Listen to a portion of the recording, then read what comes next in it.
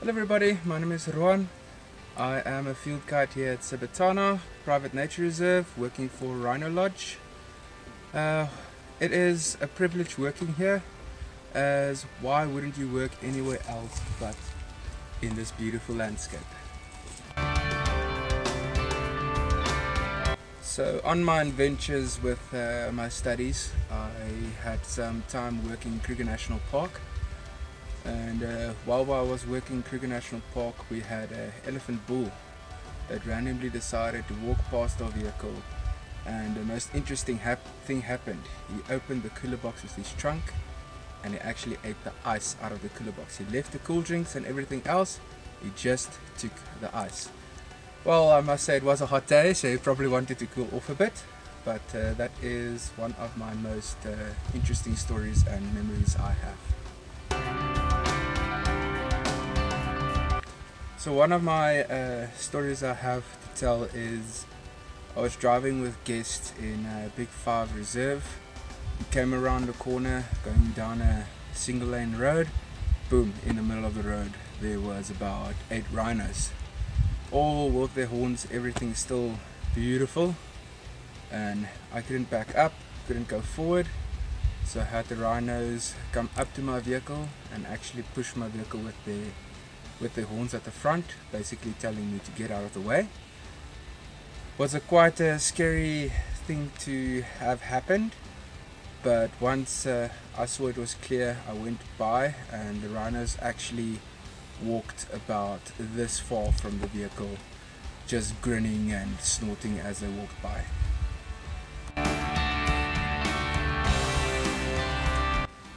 so earlier in my career I mean by earlier I mean uh, about a few months ago.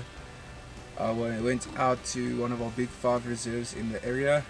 I drove with guests and uh, we drove around the corner and all of a sudden I saw a mother lion, lion lying on her back.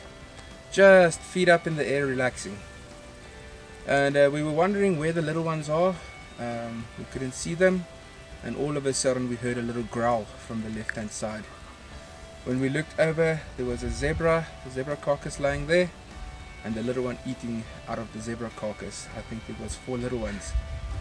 So what ended up happening is I took a video with my phone, and as I lifted my hand up, the little one looked me straight in the eyes and growled at me, as if to warn me, hey, stay where you are.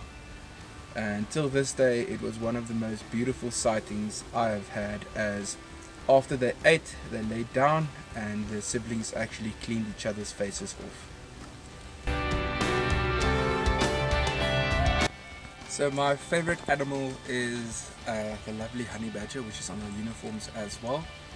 Reason being the honey badger is a small tough little animal that's not afraid of anything. Doesn't back away from a challenge, takes a challenge head on. It is so tough in fact if it tries to catch a snake the snake bites it, especially a venomous snake. The honey badger will only sleep for a few hours. You will wake up and you will eat that snake that bit him. Very, very tough animals can survive anywhere. And that's the reason it's my favorite animal.